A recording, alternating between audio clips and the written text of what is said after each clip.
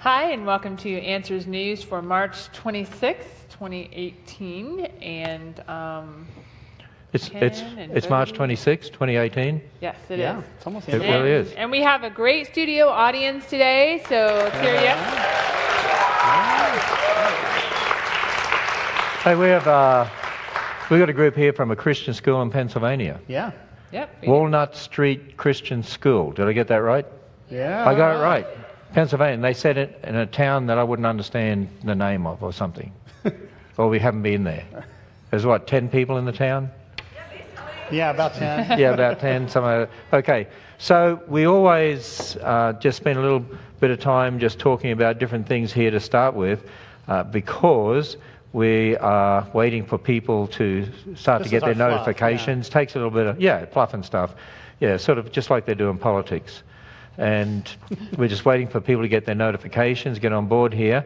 Uh, but uh, we always talk about a few, you know, little odd items or different items to start with. Uh, okay, so I'm getting on here, and oh, people are getting on there. We're already getting comments. Look at that. I'm already on. That is yep, incredible. I can see that. Mhm. So, um, there we are. Hi, from Amish country in Indiana. There we are. Okay, so Bodie, do you want to? Has anyone here heard of Babylon Bee? Babylon Yeah, a B is a people s- have, yeah. well, it's a Christian. Satire. Satire. site. Yeah, it's a Christian That's the key satire site. Uh, they write satire, but but they like to do it. In Uh, a fun way, of course. associated with Christianity. So I've been featured on there before. I was featured again this week. Funny thing was, there were people actually believed this happened when they saw the article. They had no idea it was from a satire site. They were getting upset with Ken, like, I can't believe he did this. How dare he? They were, they were Yeah. kind of going off at you a little bit out there. Yeah, they were talking about that, that I vandalized the Grand Canyon where it says millions of years, painted out and put 4,000 You were just trying to correct 400 it on years there, ago. right? And then I was arrested and apparently I escaped. And they're you actually. you're invisible. That's the funniest part of all. I can't see you escaping police custody. Just saying. Well, you know what? I decided, seeing as there were even people that believed this, so I posted it on Twitter and on my Facebook. And my post, I said, and now on to the Smithsonian next. Yeah, there are people out there around the world getting upset with you, like, I can't believe he did this. Yeah. hey, somebody, This is why somebody, you have to pay attention. somebody here's got a message for you, Georgia. Stop talking about nothing and get on to the issues. Yeah, yeah, yeah. That's you doing that. Not It's okay. Me. This hey, is our fluffing. hey, th- this was one of your favorite news items of the week. Well, okay. so here, here is why. Just like with the satire article we just talked about, you've got to be careful, like with what you're seeing and where it's coming from, and really Mm-hmm. evaluate if it's true or not. So this supposedly is the Loch Ness monster. This Uh, is washed up on the shores of Georgia. Georgia. Now here's the thing. No If- wonder you if- like this one. Yeah, if I come across something like this, okay, and I can't figure out what it is by looking at it, I'm gonna take a sample of this thing and, and like put it in a Ziploc or something. So people can look at the DNA. But do these people ever do that? No, right? They just take a picture and make they a take big a picture about and a it. video from a distance, so you really yeah, can't tell and tell you the can't detail. tell anything. It's just hype. And they, tr- they try to make out it's some what they call prehistoric monster or whatever. But you know there are animals know like basking sharks or uh, other creatures that when they decay can end up having some sort of shape like that. So you've got to be really careful. Yeah, Yeah. things decay in strange ways sometimes, and so you don't know. A- actually, Dr. Pur- Purdom at first thought it was one of those. Okay, this is another one I saw circulating on Facebook, and people were like, What? Whoa, There's stuff that on snake." Facebook that isn't true? Well, here's what it said. Okay, now, okay, think of this. Is, this was what the, the little description was. World's biggest snake, anaconda, found in Africa's Amazon River. Where Did is the catch that? Amazon River? It's not Africa. It's South America, America. people. Okay, right there's your indication. And the, the images are really blurred around the snake. It's obviously been photoshopped. Okay, so don't believe everything you see on social media, the internet. You know, that's my word to the wise. Yeah, So- so, used to be discerning here. There we are. We wanted to talk about fake news to start with. So that Yeah, not only is there fake news in politics, uh, there's a lot of fake There's news fake in other news areas as well. So. Yep, Yeah. definitely. Okay, so Dr. Purdom, let's uh, start with some of these articles. Okay. Should a secular humanist serve as Navy chaplain? Absolutely not. So, this is an article actually written by a senator from Mississippi because apparently the Navy is considering um, appointing a person who is an atheist to the position of chaplain. And um, No, which- wait a minute, wait a minute, wait a minute. Atheists get on my Twitter all the time when I say that they have a religion and they say they don't have a religion. So if atheists claim they don't have a religion, now they want to be chaplains? well, Inconsistent. yeah, inconsistent. They're consistently inconsistent. Yeah, But atheism is a religion. it is. Yeah, it is a religion. But here, here's what's interesting the Chaplain Corps, uh, when, when it comes down to that, what it is, is designed for people who have a godly worldview. And so when you put an atheist into that position, it's actually going against the very nature of the position at hand. And that's what's being disputed But, here. but think about it. what would an atheist chaplain do? Someone come and said, Mr. Atheist Chaplain, I have a problem. That's hopeless. Um, I'm wondering about my life. It's meaningless. What's going to happen when I die? Um, yeah, Nothing. when you die, you're done. That's That's, it. The end of you. You might as well jump off a cliff right now. Can you imagine? Yeah. Yeah. You know? If they were being consistent, but they're not most of the time, so that's that's how they can get away with it. But, Yeah. But I hope that I mean the whole point of the chaplain corps and the whole point of this position was really for Christians to fill that position. And Yeah, so if all the way back to atheists want to have their own chaplain, that's fine. But really, this position needs to be filled by somebody who's Mm-hmm. a Christian. Hey, hey, you know how, how we just talked about the Loch Ness Monster? Yes. Somebody said here, isn't Ken Ham Scottish? This ain't a Scottish accent, I can tell you that, mate. Ooh, okay. It's just got not. Scottish? No. Eh? Hey? Trying, trying to throw some That's not a accents out Scottish there. accent. yeah, you people need to work on understanding Hey, accents. did you hear about that? Did you hear about that guy? Somebody mentioned it here. That built a rocket to get mm. in it to blast himself off up, up up into the atmosphere, so way up high, so he could take a photograph and prove the Earth's flat. Yeah, he, he said he was shooting himself up into the atmosphere flat. Yeah. Yeah.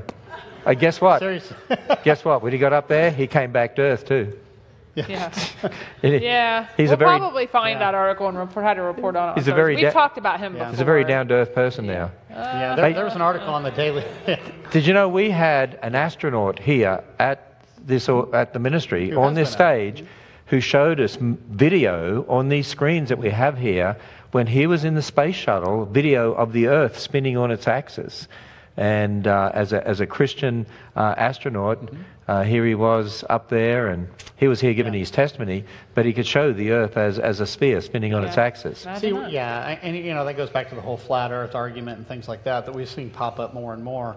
And uh, you know, one of the things you have to be, be be discerning again. You know, when people are using certain scriptures, they're yanking them out of context. They're finding things that are uh, psalms or uh, metaphorical in a sense, and then what they do is they try to take that as literal. And you have to be very careful of that kind of Right. stuff. Go back, Yeah. read things in context according to the grammar and the style. Well, you know, when they talk about um, in the Bible, they say, oh, well, it says that the earth sits on pillars. Actually, that particular phrase comes out of Hannah's prayer uh, in, in, in regard to Samuel, and it, it's talking about spiritual pillars. It's in the context of her prayer and the spiritual pillars. So, again, you've got to be real careful the way you take those things. Yeah. Now okay. someone thinks you're British, just FYI.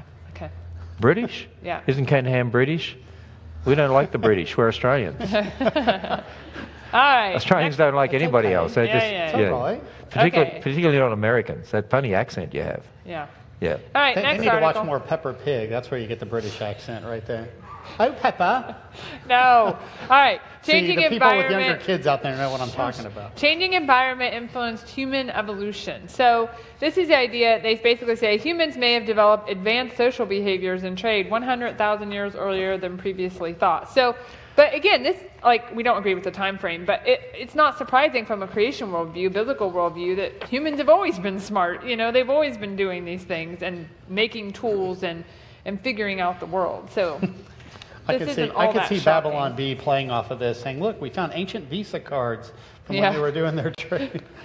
But they know, they could do something like that. Yeah, talking about the, the tool making technologies and how things may have changed due to um, volcanic upheavals, like what they had available to them, like they had more obsidian, more volcanic glass available, which wouldn't be surprising in a post flood world where there was still a lot of upheaval going Well, that's right. You got to look at the big picture here. You have the flood. You have Noah and his family coming off the ark. You have the events of the Tower of Babel, and then people are spreading to different parts of the world. And so the, these people get down here in certain places in Africa. They're settled. They're using uh, what they can find to make certain tools and so forth. A volcano goes off apparently, and then all of a sudden they discover obsidian, which is volcanic glass, and they start using that. For and axes. they start trading with Yeah. it and so forth. And they're like, whoa, there's a big shift here. They just try to throw it back here 100,000 years earlier than what they thought in an Right. evolutionary time scale. but it's post. See, think about it too, as you said, Bodie, as people went out from the Tower of Babel, some would live in caves, some would chop down trees and build ha- houses out of, out of wood, Mm-hmm. uh, others might uh, just stay in tents. Uh, some people would eventually be able to use iron and bronze, others would use stone tools. But fr- the evolutionists go, and when they find all this evidence, they try to interpret it in a, in a Stone Age to Bronze Age to Iron Age sort of evolutionary sort of uh, way. But you know, the other thing that gets me is they find these what, what look like axe heads that they've been designed as axe heads. Think about this a piece of rock, and, and it's, it's sharp and can be used as an axe head. And as soon as they see something that looks like it's been chipped away and, and designed in some way, immediately they say, obviously, Oh, look, ev- evidence of intelligence. Look at that, design, an axe head. But then the same scientists will look at DNA molecule, the most complex information code system in the entire universe, and look at that and say, well, that's just chance. Oh, look, a rock that's been chipped. Intelligence. Yeah. Yeah. Be against. There's something wrong with that logic. Yeah. No, that's how they go. That's how it goes. That's evolutionary logic. All right. Uh, Christianity as default is gone, the rise of non Christian Europe. So, this is a survey that was done of some of the um, European countries and finding that, just like uh, many surveys that have been done here in the US, that Christianity is on the decline. It's not really, it's funny because they say like the Czech Republic and Estonia are the least religious countries. They're not the least religious countries, they're just the least Christian countries. That's right. Because everyone has a religion. Right, That's everyone right. has a religion. Atheism is heavily on the rise there. The Right. humanistic. Well, religion, atheists believe all life arose by natural processes. That's their belief, so that's their religion. Right. Now, And see, you know, from a big picture, though, I mean, yes, we're seeing a decline in Christianity in Europe. We're even seeing a decline of it here uh, in the United States. There's other parts of the world that we're actually seeing an increase. We're seeing Yeah. an increase in Africa. We're seeing an increase in Asia. Uh, it's a number of these Western countries that we're starting to see that decline. And some Europe European leading it. countries, like Poland and some of those, actually have quite a few that claim. Yeah, Lithuania um, was one of them. Yeah. Yeah, Well, Christianity. the, the, there's a warning here, though, because what's happened in Europe, Europe had, a, had a, a big Christian influence. And think of the influence of the Reformation, and now we see that waning. We see other countries that have been away from Christianity. We see Christianity starting to increase in other countries. But in America, America is going the way of Europe, and that's a sad thing. And in Europe, church, church attendance is uh, very, very small. Uh, particularly with the younger generation, hardly any of them going to church. Yeah. And the same sort of thing is happening in America. And I believe it's the church's fault because we haven't stood on the authority of the Word of God. We, we haven't taught generations how to defend their faith, how to give answers. Uh, that's why we have the Creation Museum and that's why we have the Ark Encounter. And it's great to see all these young people here today from uh, this Yeah. Christian school learn answers to defend your faith so we don't end up like we do in Europe with so many doubting God's word and walking away from the Christian faith. Well, you know, you did a couple of books uh, with uh, Britt Beamer. Britt Beamer is from America's Research Group, and we've done polls over here in the United States, uh, taking a look at the state of the church, particularly the next generation. And we've now got three generations of statistics of kids walking away from the faith. And uh, they begin in a book uh, already gone, and they finish in a book ready to return. And these are powerful to show that, you know, in the latest generation, we're really seeing a decline in Christianity. I mean, uh, more and more so. So. By the way, in this particular article, and all the articles, we put links at the top. Uh, we pin them right to the top of the comments so you can go back and look at all the articles. It says in Ireland, there's been a significant decline in religiosity. Well, they really mean Christian That's right. uh, Christian. Dar- Darwinism's taken over. o- over the past 30 years. And guess what? This year, I and Dr. Georgia Purdom, and there'll be other speakers too, uh, but we'll be over in Ireland, the Republic of Ireland, and we're doing our Answers conference over there uh, this year. So for those people living in Europe, Yeah. you know, the United Kingdom, uh, we, actually, the, the conference we did in the United Kingdom uh, last year, there were people even from America who went over there, used it as an excuse to go visit and then go to our conference. there conference. you go. would You want to go on a trip? There, you But know. anyway, so we are reaching out to these countries around the world. And something too. I mean, it used to be popular to be a Christian, and um, like they say, as a default, as a norm, that's kind of gone, and that as a result, you know, because the, the dividing lines are greater now, you know, right? It's not popular to say you're a Christian, um, and it's not a cool thing anymore. And they said, you know, churches are smaller, but the people that are left are highly committed. And I think that's actually a really good thing. It's um, filtering that some the of the people out. yeah, that are there are really committed, and then they can see really what truly is a Christian and what is not a Christian. You know, that- And I that think also- that's a good thing. That also fits with the fact that one of the one of the trends I've noticed in America is when we get to the Bible Belt areas, uh, compared to say going to California or the East Coast, when we go to California, the East Coast, the people who come to our conferences are so excited and they buy lots of resources and they're really on fire Christians. When I go to the Bible Belt areas, I just find a lot of apathy. We get actually a better response in many ways from on fire Christians in the more pagan areas of America. Because there, if you're a Christian, you're going to have to stand uh, against the tide. That's right, and they wanna know how to defend And you're going to themselves. you're going to be noticed. So you have to be it. prepared to defend your faith, and you need to be an on fire And, Christian. and it's funny too. Atheist Richard Dawkins uh, tweeted about that particular article we just talked about, and he was saying how he doesn't necessarily think that it's a good thing that Christianity is declining, even though he hates all religion. He says is, Islam is on the rise, and because it's a more violent religion, that that's a bad that that's a bad thing. So it's kind of interesting to hear his view on that as an atheist. yeah, but Yeah, as he, an he actually atheist, likes he- the fact that Christianity was there Yeah. shielding them from, from other stuff. Well, he also says he's an equal religion Basher. basher, but that's not true because he doesn't bash his own religion of atheism. Yeah. That's right. Yeah. It's a double standard. You know, it actually says in this article, it says, uh, you know, the Muslim birth rate is higher than the general population, and they have a much higher religious re- retention rates. But, you know, if you, if you actually look at that religion, if you leave the religion, you're required to be put to death, really. Yeah. Yeah. So, you know, I think a lot of people. Well, uh, and the sad thing leave it is, because of fear. many others in the population outside the Muslim community are just aborting their children. They're murdering them They in their really mother's are. wombs. Massive numbers of Which them. brings us to this next article. Yeah. Yep, crisis pregnancy centers have the right to remain silent. So this is about a California law that has been on the books since 2015 that basically said if you're a crisis pregnancy center, which are usually um, you know run by Christian organizations or, or Christian churches, that they must say, hey, guess what? The state of California also offers immediate, free, or low cost access to comprehensive planning, family planning services, prenatal care, and abortion for eligible women. Whoa, so whoa, here's, so, so they're saying Yeah. that crisis pregnancy centers are forced to advertise abortion centers. yes, they're forced to advertise by the state of uh, California says they must advertise them. Now, what would happen if they passed a law and said all abortion centers, like Planned Parenthood, had to advertise to people that you can go to pro life centers and learn how to uh, have, have a baby adopted or to uh, have an ultrasound to see that it's totally human? How, how, what would happen if Oh, they I know. passed a law Oh, like yeah, that? What if, what if they were forced to, you know, put links to answers in Genesis right there? You know, big bold letters in all these different languages. Yeah. You see, there's an inconsistency. It's a one-way one-way street with a lot of these liberals, isn't it? It's it's just one Their way way, or the forcing their views on the culture. Well, and it's coming to the Supreme Court. So that's why this is an issue because it's coming there to say that it's violating the free speech of those centers. They shouldn't Right. have to advertise abortions because if it's up to the government, the state government, to decide what should be said, well, what happens if you get a pro life government in there? I mean, and they say all the abortion centers have to advertise the, the crisis pregnancy centers. You know, they wouldn't definitely would never want that. So it's, mm-hmm. it's problematic all the way around. hey, there's a comment here, probably from one of the students here. They said, Hi from the second row in Legendary Hall. This is Legacy, Legacy Hall. Hall. Legacy Hall. But I think it is. Le- I think it enough, is no? legendary that three of us are here together today, and this. So we'll rename it. Leg- I think it's a great, great new name for the hall. Second row. All right. Welcome. Yeah, I won't say his name, Larry. Okay, so At least you're not saying last name. All right. Women co- women's college instructs professors not to call students women.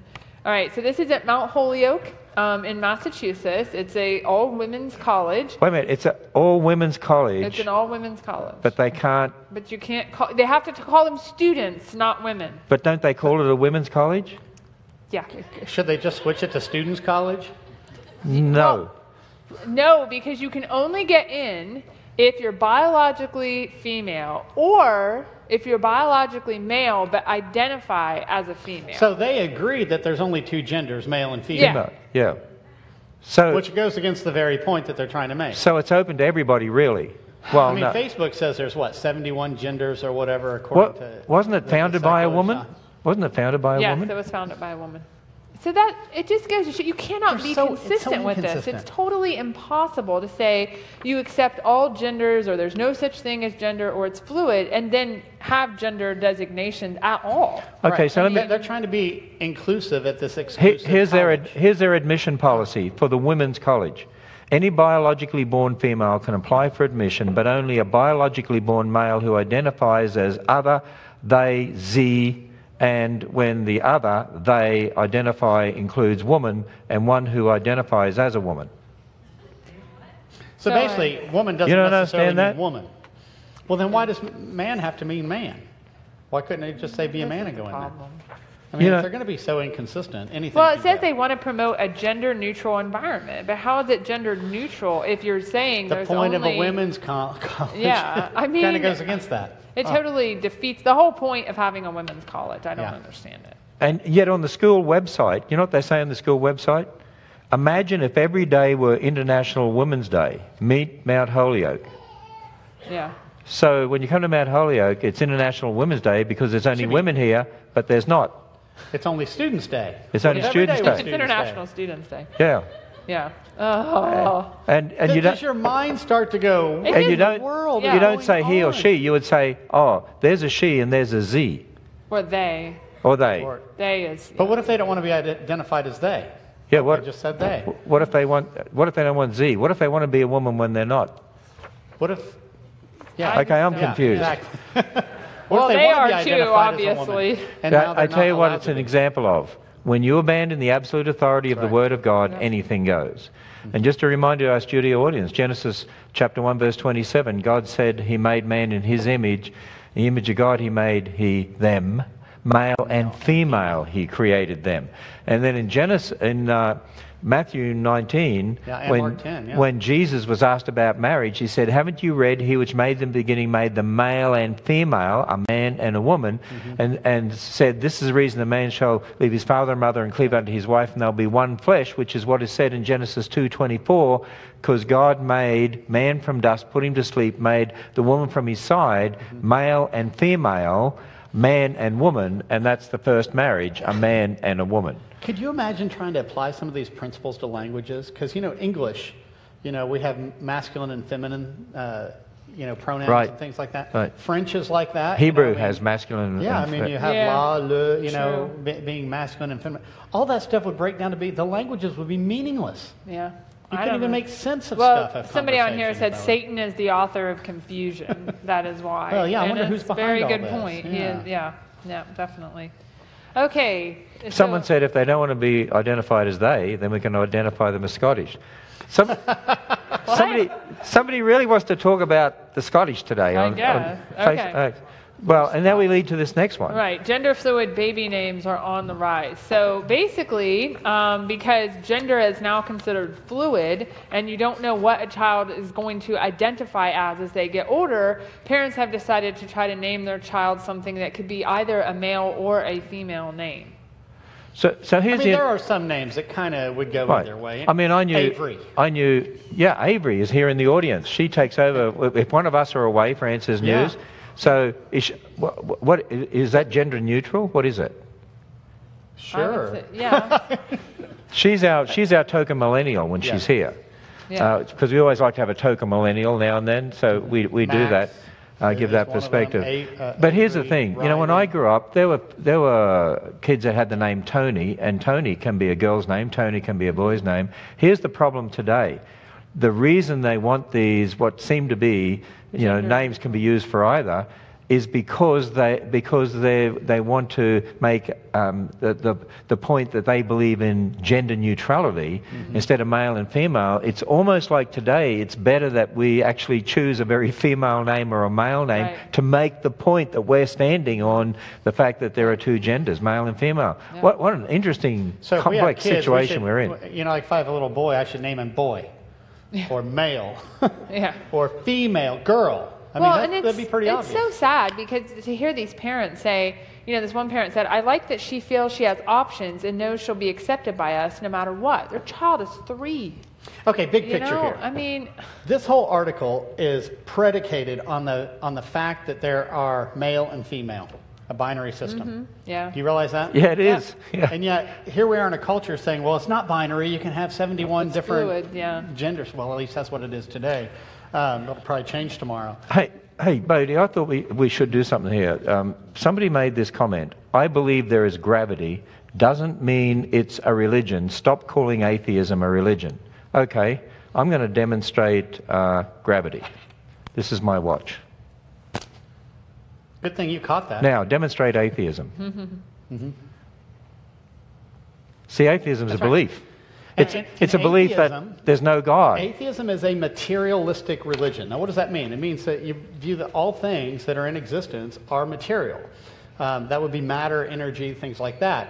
Um, in other words, God does not exist in an atheistic worldview. That's why there is the absolute statement there is no God in atheism. Now, if it's materialistic, well, what's the massive logic or a conclusion or truth or knowledge? Those things can't exist in an atheistic worldview. You have to get rid of that religion, come over and borrow from a Christian worldview Right. just to say those things exist. Yeah, for, for atheists to even talk, to talk logically, Mm-hmm. uh, use. For him to make that conclusion, well, He had to borrow from. He had to borrow from a Christian worldview. Yeah. Yeah. See, they, a lot of people come up and they want to say, "Oh, well, I don't, I don't belong to a religion." Well, then why are you opposing my religious claims? The sheer fact that you're talking religion proves otherwise. Yeah. Yeah. Good point. Good point. Somebody said they're going to name Hey. their male baby Schwarzenegger. Yeah. Somebody said here, I'm going to get Okay. name my girl. I'm a girl. Yeah. Okay. All right, let's go on to the next one because you. This is. Hey, I oh, noticed something in here. Uh, you know, some of the top female names and top boys names, you know, here for 2016 rankings, which is what they were looking at here. Well, one of them was Emma, Olivia for the boys, Noah. Do you recognize any of those names? Yeah. We, we have 16 grandchildren, and we have one named Olivia, one named Emma, one named Noah.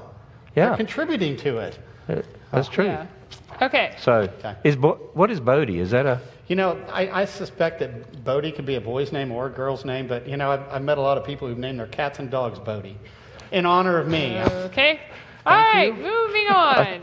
This next one we had to do for Ken because he likes the platypus. Platypus milk might save us from bacterial infections, and that's not even the best thing about them. So basically, the, they found a protein in platypus milk. They've named it Shirley Temple because it has all these like she had, Shirley now if you don't remember Shirley Temple had all these really cute curls, ringlets and yeah. the protein has all these ringed like structures but they think it's a it's some sort of it's an antibacterial protein. Now they don't know yet it hasn't been confirmed but they're hoping it might fight it might we might use that same type of protein in uh, to fight bacteria that have become antibiotic resistant. So it's because it's very unique. We don't find it anywhere else in the animal kingdom. It's it's totally unique to platypus. See, Australians are unique. Mm-hmm. I've always that's said that. true. Yep. We are So- a so unique here's group. what I wanna know. Hey, hey, you know what? Who's going to volunteer to, to milk the little rascals? well you don't even milk them I know. they just It- it secrete ex- the milk They actually from their they sort of- sweat I it guess you grab sort of them and sweat the them milk out. Wet milk. Yeah, they sweat the milk out. You know, you just look. I learned more about platypuses in this article than I needed. Yeah, to you know, know. when I see, grew up, you- you when I said grew up, yeah, when I grew up, we we said platypi. See, I looked that up. I, I, I was like, is it platypi or platypus? Like, apparently, Yeah. depending on which one. dictionary you're looking at, both of them are correct. There's also platypodes. There's also Platypodes? plural for Platypi. Platypi. Platypus. Who Pusses. cares? How many times do you use it? the Hey, you know what? The, the, the rest of the art, platypi is correct because that's what I was taught in Australia, in Australian schools, All right. by Those Australian school Aussies. teachers. Yes, so right. platypi has That's to be right. Platypuses doesn't make sense. Hey, you know, the rest of the article It's actually talks about how unique the platypus is. But, and, and how confusing the platypus is. Actually, you know, it's my favorite animal. I know it is. That's why It's I my favorite animal Mm-hmm. because I think it's so confusing to the evolutionist. If you think about it, bill like a duck, beaver like tail, hair like a bear, web feet like an otter, claws like a reptile, lays eggs like a turtle, feeds its young on milk like a mammal, has spurs like a rooster, and poison like a snake. Yeah, I don't think you. And said it, that mean, it senses its It- prey if- by detecting electric fields. If it evolved, if it evolved, it evolved from everything. yeah. That's why Well, I think, that's what I think talk every time about an, is- I think every time an is- evolutionist looks at the platypus, I think God right. smiles where do you? because I think He made put it just for them. Right? Because they actually had to Yeah. invent a whole new uh, monotremes, which is what there's only Uh, yeah, them and the classification, ech- um, that are part of that because they lay eggs, but they're mammals. So they're so it is very unique. It's cool. It's a cool It's animal. Hey, venomous Somebody yeah. said somebody said here they had a platter pie for dessert last night. A plate of pie. Oh. They beat me to that one. Oh, Good on 'em. fun. okay. There are- All right. we got some very creative people on here. Somebody said they remember the platypus from Mr. Rogers' neighborhood. I remember that. So you you were too What- old. Oh, you, Yeah. oh, you know what would make sense that you watch Mr. Rogers? Because Yeah. you're so boring sometimes. Ah, hey. You have to take your I shoes learned a off. lot from and- Mr. Rogers. All right. I remember that. Yeah, yeah. Surreal photos of India's living root bridges. These intricate living structures take 15 to 30 years to complete. So this is in um, in areas of like Bangladesh and mountainous um, sort of areas where these this certain people group, the Khasi, have developed a way to basically link across these really streams and things like that that can get really filled up when they have the monsoon seasons and, and have a lot of rain and everything. And they, they basically weave together the They take the roots, roots, yeah, of and make them these trees um, with um, other bamboo planking or something like that to create these root Mm-hmm. And they're just showing you one of them, one example here. so they they're living, they're living bridges. Yeah, Yeah. they're living. They even have on, on page two, if you look at the article and link on it later and look at it, there's a double decker bridge. And I was, Yeah, a double decker bridge. And I was thinking, the Brent Spence Bridge here in, in between Cincinnati and northern Kentucky, it's a double decker bridge over the Ohio River. They've been talking for years and years about the need to replace it. We've got the solution. Yeah, it only take 200 years to weave enough Yeah, branches to go Yeah, across out.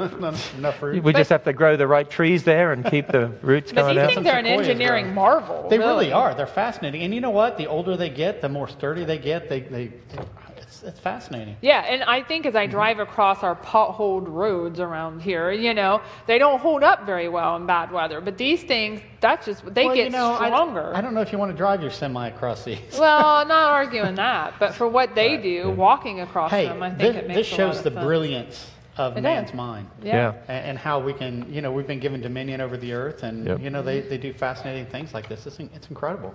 Yeah. So, hey, you realize we've run out of time? We'll have to do I the rest of them time. on uh, th- it's Thursday. Is today Monday? Today's Monday. Today's oh, somebody Monday. said they drink platypus milk. I don't think so. So- so Maybe how there's do a they brand of milk milk it? called Well, platypus they say milk. they're crunchy moms, so that means they're I like think so. cool. So I, I- don't know. Yeah. I don't- All right. Uh, All right. Well, we'll save that one for later. So we, we're, pie milk. so the three of us, for those that are here, we're going to go out Yeah. into the lobby Yep. there and meet say hey. people. If you want to come up and meet uh, anyone, if there's someone you don't want to meet, just let them know, uh, and uh, we'll be out there. All I don't want my right. Sounds good. We'll see you on Thursday God bless too. you guys. Thank you so much.